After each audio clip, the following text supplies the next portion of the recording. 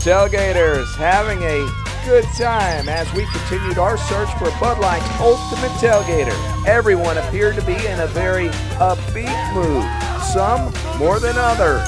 I'm Trey, and I'm Bud Light's ultimate tailgater. Yeah!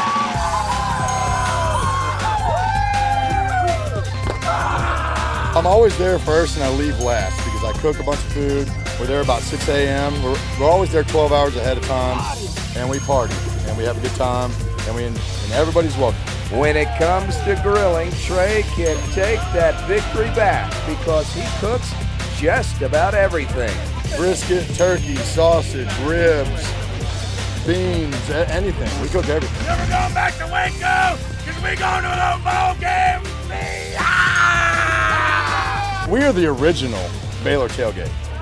We've been doing it the longest. We've been doing it the biggest the longest. And we're going to continue to do it the biggest the longest until we can't do it anymore. So I'm six feet down.